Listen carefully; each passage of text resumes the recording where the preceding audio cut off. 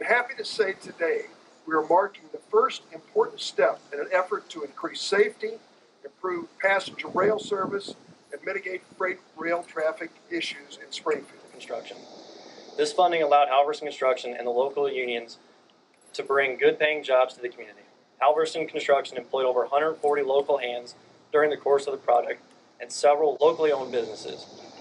I'd also like to take this chance to thank the local unions, Carpenters Local 270, Laborers Local 477, Ironworkers Local 46, Cement Masons Local 18, and Operators Local 965 for supplying skilled tradesmen to help accomplish this project in an efficient manner.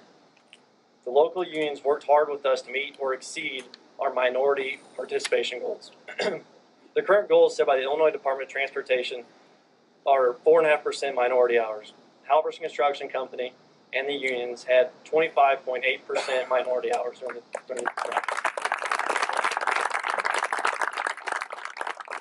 Before the opening of this underpass, ambulances would have to travel all the way south to Cook Street to go around a train and to reach the hospital. This route will save minutes during critical times and even could help save lives. It also provides a safer path for pedestrians across railroad tracks. Again, a big thank you to the local unions and Halverson Construction's staff for the strong effort and dedication to meet the goals and get this project completed in a timely fashion. One, two, three.